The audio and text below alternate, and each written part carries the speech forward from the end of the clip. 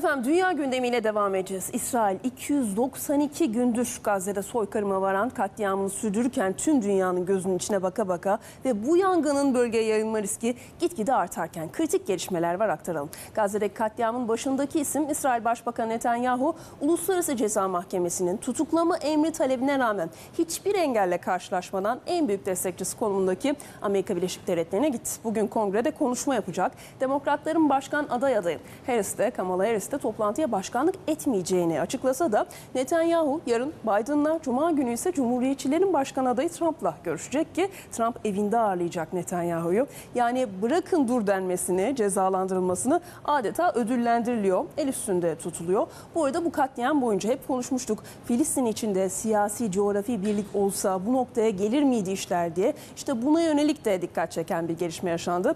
Başta Fethi Hareketi ve Hamas başta olmak üzere Filistin'i 14 grup aralarındaki bölünmüşlüğe son vermeyi amaçlayan bir bildiri imzaladı. Nerede derseniz binlerce kilometre ötede, ta Çin'de. Ama elbette yaklaşık 17 yıldır benzer bir dizi protokol imzalanmıştı hali hazırda. Sonucu ulaşmamıştı. Dolayısıyla ne kadar umutlanmalı hepsini konuşacağız. Konuklarımızı hemen takdim edeyim sizlere. Yeditepe Üniversitesi'nden Profesör Doktor Mesut Hakkı İstanbul stüdyomuzda bizlerle birlikte. Sayın Caş'ın hoş geldiniz yayınımıza.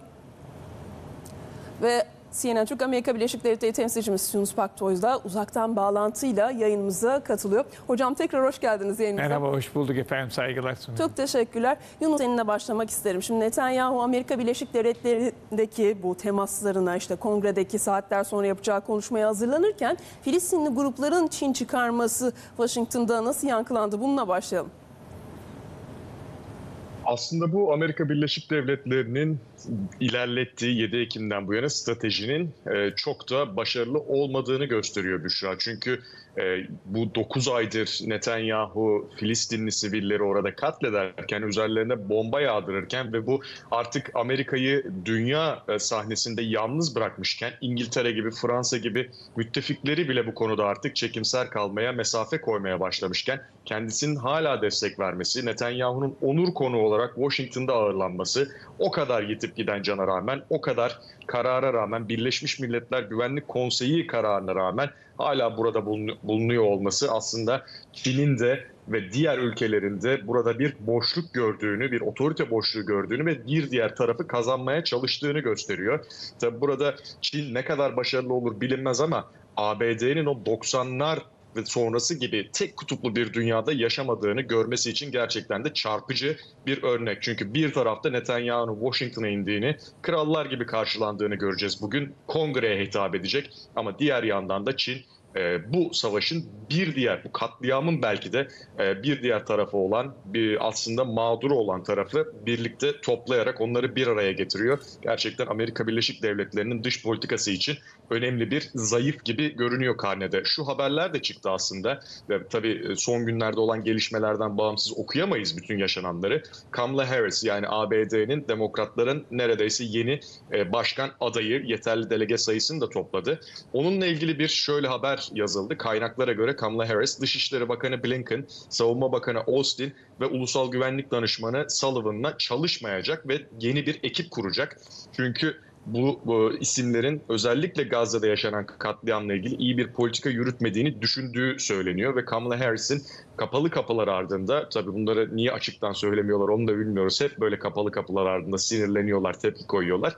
Onun daha fazla empati gösterdiği ve daha farklı bir e, Gazze politikası ilerleteceği de söyleniyor. Gerçekten ilginç zamanlara giriş yapmış bulunuyoruz Büşra. Peki Yunus Kamal Harris bölümünü tekrar soracağım sana zaten. Şimdi Mesut Hocam özellikle 19 yıldır Kahire'den Doha'ya, Mekke'den Sana'ya bir dizi aslında bildiri, işte protokoller imzalanmıştı. Filistinli grupları bir araya gelsinler ve bu 17 yıllık bölünmüşlük sona ersin diye ki çok kritikti aslında bölgenin geleceği açısından da ama bir türlü sonuca ulaşmamıştı. Dolayısıyla şimdi adres Çin. Bu Pekin diyaloğu olarak adlandırılan süreç başarıya ulaşır mı sizce bir katkı sağlar mı? Somut bir ilerleme görür müyüz uygulamada yoksa kağıtta mı kalır? Büşra Hanım aslında e, dünya e, şu son 15 gündür çok hızlı bir değişim yaşıyor. Bir yanda NATO e, toplantısı oldu. 75. yıl kutlanıyor. Ve çok ilginç Rusya'nın en büyük tehdit olduğu İkinci tehdit olarak da Çin'i gösteren bir Washington toplantısından bahsediyoruz. Akabinde beklenmedik bir şekilde e, başkan adayı Trump'a yapılan suikast Amerika'yı karıştırdı ve nihayetinde birdenbire Yemen'den atılan füzelere ve insansız hava araçlarına karşı İsrail Hava Kuvvetleri, Ürdün ve Suudi Arabistan hava sahasını kullanmak suretiyle e, bir şekilde Husilerin limanlarını vurdu. Burada İsrail iki noktada e, hem Lübnan hem de Yemen'de savaşı genişletmek istiyor ama İsrail Savunma Bakanlığı diyor ki bizim yaptığımız bu gece saldırısı ki e, yaklaşık 200 kilometrenin bir derinlikte e, hem Ürdün hem Suudi Arabistan hava sahasını kullandık diyor. Ve bütün Orta Doğu devletlerine İsrail'e karşı bir eylem düşünenlere karşı bu bir örnektir. Yani sizi de vururuz diyor. Herkesi bir şekilde e, ne yapıyorlar? Tehdit ediyorlar. Aynı şekilde Suriye'ye de karşı eylem yaptığını görüyoruz. Yani Gazze'de savaş devam ederken bir tarafta bir baskı var.